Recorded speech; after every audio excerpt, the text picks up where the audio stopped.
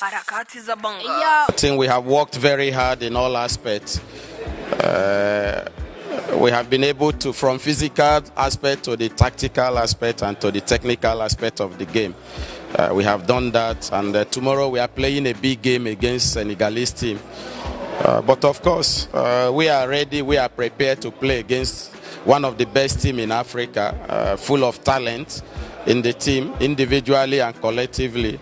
Uh, but the most important thing for us tomorrow is to be prepared psychologically, from psychological point of view, uh, from mental point of view, and from tactical point of view, to be able to manage the game and achieve the positive result that we want.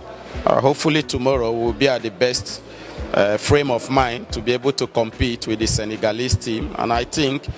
Uh, the players are ready and the players are aware of how important is the AFCON for them and I hope tomorrow they will be in a position to play.